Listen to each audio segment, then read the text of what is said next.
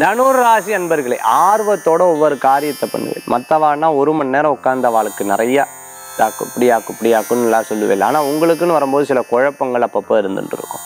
சில நேரம் சில விஷயத்தை பார்த்து தெரிஞ்சு இதை நம்ம லைஃப் கூட கம்பேர் பண்ணி பார்க்கக்கூடிய திண்மைகள்லாம் இன்றைய தினத்தில் இருக்குது சில பேர் ஃபோனையவே வச்சு பார்த்துட்டு இருப்பா.